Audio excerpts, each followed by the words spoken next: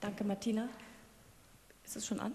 Ja. Äh, danke, Martina. Ich möchte mich äh, ebenfalls äh, oder möchte Sie ebenfalls sehr herzlich willkommen heißen hier in dieser Runde für das heute, heutige Friedensgespräch. Ich möchte ganz herzlich willkommen heißen unsere drei Gäste. Ähm, wie gesagt, mein Name ist Andrea Lentschow. Ich bin kurzfristig eingesprungen. Ich hoffe, wir kriegen trotzdem ein sehr lebhaftes Gespräch heute hin. Äh, bin angesichts der äh, versammelten Expertise hier auf dem äh, Podium auch äh, sehr zuversichtlich, dass das gelingt. Ähm, und möchte vielleicht einsteigen, äh, damit ähm, zu verweisen oder zu erinnern. Viele von Ihnen werden gestern die Nachrichten gesehen haben. Äh, Frau, Frau Faeser hat äh, den Verfassungsschutzbericht aus dem Jahr 2021 vorgestellt, äh, begleitet äh, vom äh, Chef des äh, deutschen Verfassungsschutzes, Herrn Heidenbank. Und ähm, wir konnten lernen aus dieser Veranstaltung, aus der Pressekonferenz, dass Extremismus weiter steigt in Deutschland. Ähm, wenn ich es richtig in Erinnerung habe, Rechtsextremismus äh, um 1,8 Prozent. Ähm, ein nicht unerheblicher Teil äh, der Rechtsextremisten äh, gewaltbereit. Äh, insofern ist das Thema, glaube ich, auch heute ähm, weiterhin ex, äh, durchaus aktuell, ähm, eine Zeit lang sozusagen überwältigt von Krisen, ob es die Pandemie war oder eben äh, der Einmarsch, Einmarsch der Russen in, in, der Ukraine, dachte man ja schon, das ist so ein Thema, das ist schon fast normal geworden. Warum jetzt noch wieder eine Veranstaltung dazu? Aber ich denke, äh, der äh, gestrige äh, Auftritt äh, zeigt uns, dass es weiterhin notwendig ist, wichtig ist, dass wir uns über dieses Thema verständigen. Und daher bin ich sehr froh, dass wir hier heute Morgen, äh, heute Morgen, heute Abend, äh, heute Abend sitzen äh, und ähm, möchte mich nochmal sehr herzlich bedanken, dass Sie gekommen sind. Äh, einsteigen möchte ich gerne mit äh, einer vielleicht ganz allgemeinen Frage, einer Art Bestandsaufnahme, ähm, äh, wo Sie sich sicherlich auch stützen können auf den Verfassungsschutzbericht von, von, vom Jahr 2021. Äh, wenn man so an Deutschland denkt, hat man ja häufig so die, die, die Perzeption, Deutschland umgeben von, von Ländern wie Italien, wie Frankreich, äh, sogar Schweden mit äh, signifikanten rechtsextremen Parteien. Ähm, großen Parteien mit erheblichem Zulauf in der Bevölkerung. Wir haben ein bisschen AfD, sage ich jetzt mal. Ähm, das, das sage ich jetzt bewusst zu salopp. Ähm, äh, um Sie so ein bisschen herauszufordern, ähm, äh, wie steht äh, Deutschland eigentlich da, im auch internationalen Vergleich der Verbreitung von Rechtsextremismus, von Rechtspopulismus, können wir davon ausgehen, in Deutschland stehen wir eigentlich sozusagen noch oder können noch relativ entspannt auf die, auf die Lage gucken. Die Demokratie ist solide, stabil, stabil genug. Mit den rechtsextremen Tendenzen können wir umgehen. Äh, wie müssen wir uns Sorgen machen. Ähm, ich wende mich an das gesamte Podium. Wir haben uns im Vorfeld äh, verständigt, dass Frau Küppers den, an, den Anfang macht, ähm, äh, hier vielleicht ein bisschen Orientierung zu liefern. Ähm, ja, gerne. Ja, das ist immer die Frage, wie sieht es bei uns aus? Ist es woanders noch schlimmer und sind wir noch so halbwegs auf der Insel der Glückseligen? Es kommt ein bisschen darauf an, auf welches Phänomen ich schaue, wenn ich über Rechtsextremismus spreche ähm, und wen ich alles dazu zähle. Und das ist ja durchaus eine spannende und auch äh, kontroverse Diskussion. Wo fängt der Rechtsextremismus denn eigentlich an? Und worauf schauen wir, wenn wir über Rechtsextremismus äh, sprechen? Sie haben den Verfassungsschutzbericht angesprochen. Der Verfassungsschutz hat ähm, seine eigene Definition von Rechtsextremismus, äh, ob seine Aufgabe, die Verfassung zu schützen, auch den demokratischen Staat zu schützen. Ähm, der Verfassungsschutz berichtet äh, sowohl über Parteien, ähm, im äußerst rechten Spektrum. Sie haben die AfD mit erwähnt. Aber er berichtet eben auch über Akteure und gewalttätige Akteure. Und ähm, er kommt wieder, und das ist schon seit einigen Jahren zu, zu einer nochmal gestiegenen äh, Anzahl rechtsextremer, tatsächlich markierter rechtsextremer Personen ähm, von rund 34.000 in Deutschland und davon äh, rund 13.500 äh, Gewalttätern. So, das ist allerdings die Spitze des Eisbergs, die der Verfassungsschutz im, im Blick hat und die der Verfassungsschutz aufgrund seiner spezifischen Perspektive auf das äh, Problem ähm, in den Blick nimmt. Jetzt ist der Rechtsextremismus ja nicht alleine eine Frage von Parteien und Akteuren, sondern wir differenzieren ein bisschen, das ist, ich würde mal sagen, Konsens in der Forschung. Wir schauen uns den Rechtsextremismus sowohl an in Bezug auf seine ideologische Komponenten als auch in Bezug auf seine Handlungskomponenten. Und Handlungskomponenten sind im schlimmsten Fall Gewalt, sind aber eben auch Wahlentscheidungen von Bürgerinnen und Bürgern ähm, und das, die Beteiligung an ähm, extremistischen Aktivitäten. Und da ja, sind ja die Corona-Demonstrationen ganz faszinierend, das muss ich mal aus Forschungssicht sagen. Beispiel, wo wir Schwierigkeiten haben einzuordnen, wie viel Rechtsextremismus ist denn dabei und wie viel, äh, ich sage mal, im, im demokratischen Spektrum nicht nur legitimer, sondern vielleicht sogar wünschenswerte Auseinandersetzung und Kritik an ähm, Demokratie und an Abläufen und so weiter ist dabei. Wenn wir uns ähm, anschauen, den Rechtsextremismus nicht nur in Bezug auf Parteien, hier haben wir immer die Diskussion, wann ist eine Partei denn tatsächlich im äußerst rechten Spektrum, im internationalen Raum sprechen wir dann eher von äh, Far-Right-Partys, also Parteien der äußersten Rechten. Und wir können auch bei, auf der Ebene der Parteien und auch ihrer Programme sehen, dass das so eine Changierung ist. Also nicht nur mit einem Fuß ins hart Rechtsextreme gehen und ins, ins völkisch Rechtsextreme äh, wie die AfD und mit dem anderen vielleicht eher populistisch unterwegs zu sein, wo man eben auch breitere Schichten anspricht. Wir können sehen, dass es auch, denken Sie an den Front National in Frankreich, auch Veränderungen in den Programmatiken und zumindest im Auftreten nach außen gibt. Es gibt also Be Bewegungen in beide Richtungen. Parteien extremisieren sich, aber sie popularisieren sich auch, um breitere Bevölkerungsschichten anzusprechen. Von daher ist das immer so eine gewisse Frage, wo stehen Sie gerade? Ähm, und in welcher Entwicklung, das sind dynamische Entwicklungen, es fließt auch ineinander. Und dann haben wir eben die ideologischen Komponenten, die bis hinein in die breite Bevölkerung gehen. Und das schauen wir uns in der Mitte-Studie an. Wir untersuchen in einer repräsentativen Bevölkerungsumfrage, wie demokratisch oder vielleicht auch antidemokratisch sind denn die Menschen in Deutschland. Und dann haben wir nur einen ganz, ganz kleinen Anteil, zumindest derjenigen, die wir in so einer Studie befragt kriegen, das ist ja auch nochmal eine Frage, die ganz extrem kriegen sie da nicht, die machen da gar nicht mit.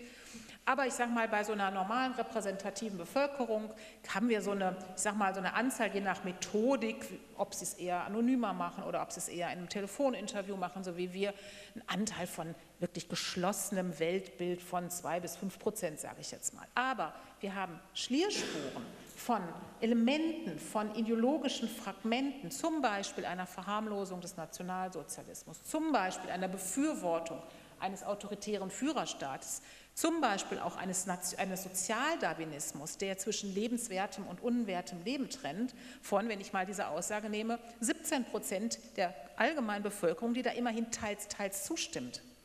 Das heißt, wir müssen äh, aufpassen, worüber sprechen wir? Sprechen wir über die äußersten Rechten, sprechen wir über rechtsextreme Gruppierungen, die vielleicht sogar der Verfassungsschutz im Blick hat, zumindest manchmal, werden wir ja gleich noch darüber sprechen, ähm, oder sprechen wir über das, was wir an äh, Handlungen sehen, die Bereitschaft, Rechtsextreme, zumindest Parteien der äußersten Rechten zu wählen. Dann haben wir schon mehr, wenn wir uns die Wählerstimmen der AfD anschauen. Ähm, und wenn wir uns die Einstellung in der Bevölkerung anschauen, dann haben wir noch mal deutlich mehr Zustimmung. Und ein letzter Satz. Ähm, das ist ja gar kein, wenn wir sagen, naja, bei den anderen, wir haben, wir haben ja nur so ein bisschen AfD. Ich darf daran erinnern, wir hatten schon vor 20 Jahren ähm, Zustimmung zur NPD in, in Kommunal- und zum Teil auch Landesparlamentswahlen äh, äh, im 20, über 20 Prozent Bereich.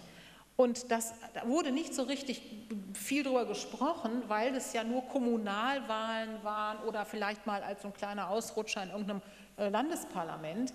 Aber das ist keineswegs etwas Neues. Das hatten wir mit der DVU schon äh, auch, äh, auch viele Jahrzehnte zuvor mit den Republikanern. Wir haben also in Deutschland immer einen ähm, nicht kleinen, nicht ganz kleinen Bodensatz an Menschen, die potenziell auch aktivierbar sind und je nach ähm, Mobilisierungsgrad dies dann tatsächlich auch in Wahlstimmen oder, wie wir es jetzt sehen können, in Protest auf der Straße tragen oder eben in der Bereitschaft zumindest mit ausgemachten Rechtsextremen mitzudemonstrieren, konnten wir schon bei Pegida sehen.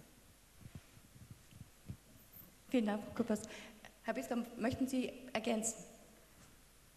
Mhm. Äh, vor allem einen Punkt, wenn man die europäische Perspektive einnimmt, muss man dabei ja sehen, dass, Sie haben jetzt gesagt, wir haben so ein bisschen AfD und man kann das quantitativ erstmal so sehen, ja, in Dänemark, Italien, Frankreich, Polen haben überall rechtsradikale Parteien schon mehr Stimmen gehabt, als die AfD das ja je hatte. Man muss aber auch sehen, dass eben, wenn man diese Entwicklungsprozesse anguckt, mittlerweile die anderen Parteien zu Zusammenschlüssen kommen, wo die die AfD nicht mehr dabei haben wollen. Also die, die PiS und der, das der Rassemblement National wollen mitunter mit der AfD nichts mehr zu tun haben und das wird nicht so ganz, ganz offen gesagt, das wollen wir nicht, aber die haben Treffen, wo die nicht eingeladen sind. Und man muss davon ausgehen, dass die AfD denen mittlerweile zu äh, extrem, zu radikal ist, was man, das hat was mit der Dexit-Forderung zu tun. Das hat auch was damit zu tun, dass ähm, polnische Rechte, polnische Nationalisten nicht sehr begeistert sind von Deutschen, die sie für ähm, von Deutschen, die eine erinnerungspolitische Wende um 180 Grad fordern, wenn ich Björn Höcke so zitieren darf. Und da gibt es durchaus Absetzwegen von der AfD, weil die anderen in Europa zu extrem ist und das äh, muss man dann auch ähm, dabei mit einberechnen. Und es hat sicherlich auch was mit, der, äh, mit dem Phänomen von Ost- und Westdeutschland zu tun, dass Deutschland einmalig auszeichnet, wo man sagen muss, dass die wirklich extremen Flügel in der AfD oder der sogenannte Flügel seine Machtbasis zu einem wesentlichen Teil in, den, also in Thüringen und in Sachsen und Sachsen-Anhalt insbesondere hat, ähm, was diese Dynamik innerhalb der AfD, dass die immer weiter, immer radikaler nach rechts rückt, ähm, zu einem großen Teil erklärt. Ja, vielen Dank. Äh, gehen wir noch mal ganz kurz zu dem Verfassungsschutzbericht zurück. Ähm, wir haben gehört, 34.000 äh, das mal äh, offen identifizierte rechtsextreme Personen, von denen ungefähr 40 Prozent ähm, gewaltbereit. Ähm, Herr Steinhagen, Sie haben sich insbesondere mit den gewaltbereiten ähm, Rechtsextremen äh, beschäftigt und äh, mich würde interessieren, äh, wie genau drückt sich diese Gewaltbereitschaft aus? Äh, was löst sozusagen das Gewalttätigwerden aus? Ähm, was zeichnet mögliche Täter aus? Ja, ich würde vielleicht zu Beginn mal das Bild von dem Eisberg äh, ganz gerne aufgreifen, weil wenn wir uns diese Statistiken anschauen, die ja jährlich äh, vorgestellt werden, dann muss man auch immer sich wieder in Erinnerung rufen. Also äh, unter diesen 13.500 äh, gewaltbereiten Rechtsextremisten, die dann der, bei so einer Konferenz vorgestellt werden, waren zum Beispiel im Jahr vor dem Mord an Walter Lübcke war der spätere Attentäter nicht darunter. Also da hätte man sozusagen gedanklich sagen plus eins mindestens zählen müssen. Und das macht ja auch nochmal deutlich, dass viele der Personen, die in den letzten Jahren zu Tätern geworden sind. Ähm, kann man auch ganz bewusst Tätern sagen, weil das äh, in der überwiegenden Mehrheit Männer sind äh, und auch nicht zufällig. Die waren nicht äh, Teil dieser sogenannten Statistik, die ja ähm, äh, vielleicht auch die Schwierigkeit hat, dass sie, auch das haben wir jetzt ja schon kurz angesprochen, sich stark auch fokussiert auf äh, Parteien, Gruppierungen. Das hat ein bisschen mit der Art und Weise zu tun, wie, das, äh, wie die Verfassungsschutzbehörden denken und wie die auf sowas äh, draufschauen. Ähm, und das ist letztlich inzwischen, ähm, wird das vielleicht auch dem Phänomen gar nicht mehr gerecht, weil wir haben es nicht mehr mit sowas zu tun, ähm, wenn wir auf die extreme Rechte blicken oder auf die militante extreme Rechte mit so einer äh, klassischen Szene, die vielleicht noch viele Leute im Bild haben, leider auch noch viele Kolleginnen und Kollegen in Bildredaktionen zum Beispiel, wenn sie an dieses Symbolbild von den Springerstiefeln denken, das sehr, sehr häufig wieder aus der Kiste kommt, wenn es äh, irgendeine Meldung dazu gibt. Ähm, dass das aber überhaupt nicht mehr abbildet, weil wir es letztlich mit einer, mit einer Szenerie zu tun zu haben, die viel, viel durchmischter ist, wo viele Leute, die vielleicht tatsächlich nur in der Statistik, in den Mittelstudien mal aufgetaucht sind, vielleicht inzwischen auch bereit sind, sich anzuschließen, sei es in einem Telegram-Channel oder sei es bei einer Demonstration ähm, und so, dass es ein viel, viel unübersichtlicheres Feld geworden ist und wo klassische Organisationen gar nicht mehr so eine große Rolle spielen, ähm, was es natürlich sehr viel unübersichtlicher macht. Ähm, und zu der Frage der Gewalt, ich glaube, ähm, die kommt da nicht äußerlich dazu, sondern wenn wir auf die Ideologie der extremen Rechten blicken, dann ist Gewalt ja nicht ein Mittel, das man äh, unter anderem auswählt, sondern das ist ja ein ganz zentrales, zumindest der radikalen Rechten ist es ja ein Wesenskern der Idee dieser Ungleichheit, die dort propagiert wird, diese Idee, die ja so, diese Vorstellung der Vernichtung des anderen wesentlich mit sich trägt, sodass das eigentlich keine ähm, Frage ist, wie das dazukommt, sondern das gehört mit dazu. Also das ist einfach ein zentraler Bestandteil. Und ähm, dann gibt es, glaube ich, ganz verschiedene Situationen, wie Personen dann wiederum zu, zu Tätern werden. Ähm, wenn ich jetzt beispielhaft äh, das, das, Attentat auf Walter Lübcke herauspicke, ähm, auch weil der Täter dort eine gewisse ähm, Entwicklung eigentlich auch abbildet, die wir in der Szene insgesamt sehen, dann ist das jemand, der ähm, als Jugendlicher in den 90er Jahren äh, in den Kontakt kommt mit der extremen Rechten und da sich beteiligt an dieser enormen Welle der Gewalt, die damals durch Deutschland äh, schwappt. Und ähm, er selbst begeht ähm, bereits schwere Straftaten damals. Also er hat ähm, versucht oder hat äh, jemand mit einem Messer angegriffen in der Bahnhofstoilette. Den, äh, das war ein kurdischer Asylsuchender aus der Türkei. Und er hat ein Jahr später versucht, eine ähm, Unterkunft von Geflüchteten anzugreifen mit einer selbstgebastelten Rohrbombe bei ihm ähm, auf dem Land. Er wohnt in so einem kleinen Ort ähm, hat die sozusagen am Nachmittag bei, im elterlichen Garten getestet und hat dann versucht, ähm, sie zur Explosion zu bringen. Das ist zum Glück gescheitert. Aber das ist, wenn wir auf diese 90er Jahre schauen, das war 1993, war das sozusagen eine relativ typische Tat für diese Zeit. Ähm, diese äh, Angriffe insbesondere auf Unterkünfte von Geflüchteten, ähm, viele werden diese Bilder ja auch noch in Erinnerung haben, war sozusagen sehr, ist damals ähm, ja, zu so einer Handlungsoption geworden, die sehr viele Leute ähm, über das ganze Bundesgebiet verteilt ja auch ähm, sozusagen ergriffen haben oder sich wiedergefunden haben darin. Und ähm, später, also als er dann dieses Attentat auf Walter Lübcke begeht, ähm, das, da vergehen ja sehr viele Jahre und man kann an ihm sozusagen auch ein bisschen die Entwicklung der Szene nachvollziehen, während er sich so in den Nullerjahren im Umfeld der NPD be bewegt und auch in diesen freien Kameradschaften, die damals sozusagen on vogue sind, also Versuche der, der Neonazi-Szene, sich zusammenzuschließen jenseits von Parteien ist es jemand, der dann so ab spätestens 2015 auftaucht in einem Milieu, das eben nicht mehr die klassische Neonazi-Szene ist, sondern ähm, im Umfeld der AfD, für die er sich ja auch engagiert hat, äh, in so einem Umfeld äh, von Pegida und Ähnlichem, also viel, in einem viel breiteren, viel unübersichtlicheren Milieu. Und da findet er auf einmal den Ort, wo er sich offensichtlich ja politisch zu Hause fühlt. Und ich habe für das Buch auch ähm, Ermittlungsunterlagen, die mir zugespielt wurden, auswerten können. Und da kann man auch sehen, wie er in dieser Zeit kommuniziert, aus der Auswertung des Handys zum Beispiel. Ähm, und er hat eben in diesen, in diesen Jahren ganz stark den Eindruck, wir werden immer mehr. Und das ist, glaube ich, für viele äh, so ein prägendes Erlebnis und äh, auch für diese Generation, die aus den 90ern kommt und damals diese rassistische Mobilisierung mitgemacht hat äh, und 2015 das Gefühl hat, es geht wieder los. So, vielleicht kann man das ähm, so beginnen zu beantworten. Ja.